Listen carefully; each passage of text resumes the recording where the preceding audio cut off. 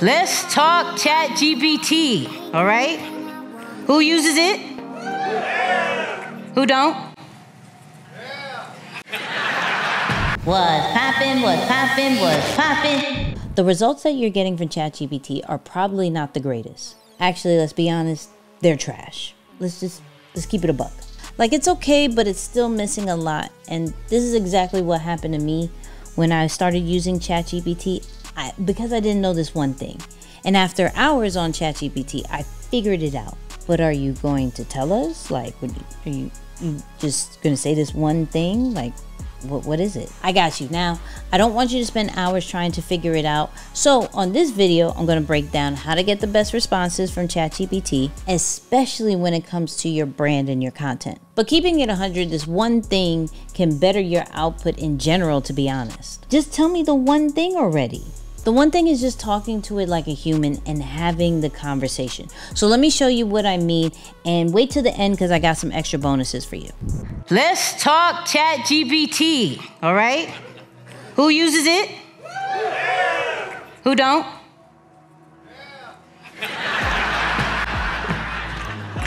Yeah, all right, I'm with that.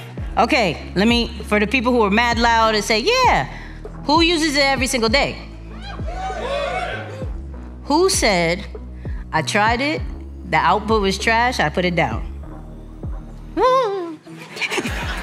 Ooh, I'm not, I don't want to admit that, but whoo. Right? We have to talk to it, right? We have to treat ChatGPT like a person. It's really weird, I know. It's like, yo, how am I supposed to do that? I have 15 to 30 minute conversations with ChatGPT. Okay? Me and ChatGPT are cool.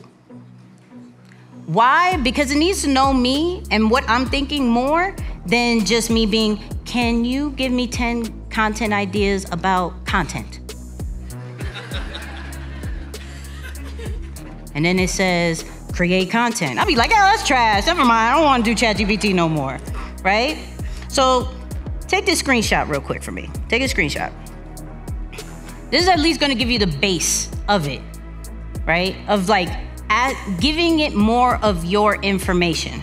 So let's let's try it out. Let's try it out, right? Hold up. I got ChatGPT here. For those people who did not know, it could talk to you. So we're gonna talk to ChatGPT today, okay? So it's connecting. Give me a second. What's poppin' ChatGPT? So I am a content uh, specialist, right? But I need you to act like a content specialist as well, all right? My target audience is introverts, about around like 18 to like 45, who don't necessarily like to be in front of the camera. My goal is brand awareness. And my brand voice, I'm a bit New Yorkish, so I'm a little bit blunt, but I wanna love on people, so make me still sound like I have feelings. Can you list some of my audience pain points and give me about 10 content ideas for my brand? Jeez. Sure. Your audience probably feels uncomfortable with direct exposure, values privacy, and prefers low key interactions. For content ideas, one, start a blog series featuring stories of introverts who've made significant impacts without the spotlight. This can reassure your audience that visibility doesn't always equate to value. Two, create a podcast with tips on thriving in social settings while honoring one's need for solitude solitude. Feature guest speakers who resonate with the introverted lifestyle. Three, develop a series of posts debunking myths about introverts with engaging visuals and light-hearted commentary to keep it relatable. Five, produce video content with minimal direct camera interaction, like voiceover tutorials or animated explainer videos. How did that sound? How many of y'all can admit that y'all outputs don't sound that good? You know what I mean? You gotta talk to it. You gotta tell it more about you. Now, here's an added bonus. At the end of it, say, hey, ask me any questions that you need to give to better my output, right? Because we don't know what we don't know. We don't know exactly how to talk to AI. I don't know what it really needs. So what's crazy about that is going to give me a whole bunch of questions. Okay, how long has your brand been? Uh, do you like doing video or audio? It's going to ask you all these questions that you had no clue because you weren't going to say or you don't necessarily have the time. I'm not going to type all that out. You saw I could use the voice feature because I don't like typing, Okay? I really, who doesn't like typing? Use the voice feature. Okay? Use the voice feature and it talks back to you. I could literally just put that away, talk to it, put it, keep doing what I do, and just listen to it like a podcast, right? I have my own personal coach, not shout out to those people who do coaching.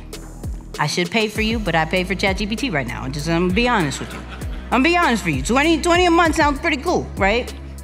Sounds pretty cool. So raise your hand if you're gonna do this a little bit better. Raise your hand if you're gonna do this a little. That's not. That's all I want. I just want y'all. I'm telling you, I'm talking to y'all today. Okay, so we're gonna talk to ChatGPT. All right, let's take it a little bit further and go with three extra steps. Step one, now that we have our content idea, let's turn that into a tweet. I'm going to have the conversation with ChatGPT of what more information they would need to turn this content idea into a tweet based off my brand.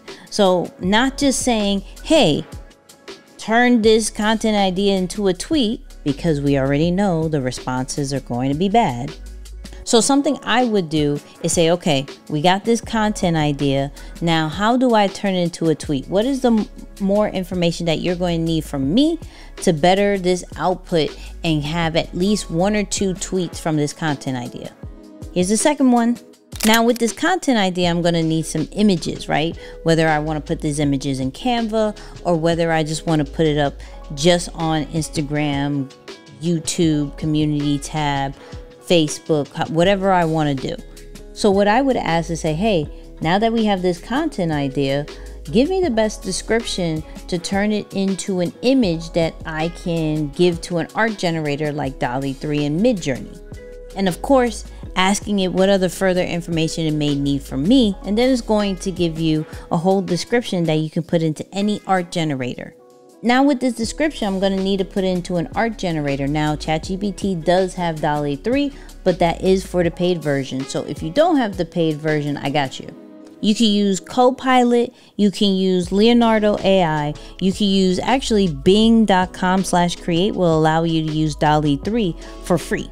So get as descriptive as you can with the images and put it in one of those art generators. Real quick, I know we're talking about ChatGPT and written content, but I gotta talk to you about video content as well with our sponsor, Opus Clip. Now, Opus Clip will take your long form videos, take one video, and turn it into 15 to 20 different clips for your vertical videos, square videos. It can also turn into horizontal if you want to clip it up for YouTube. It adds captions, it adds AI B roll. It does amazing things. And I got the link in the description because I want you to try it for free on me, right?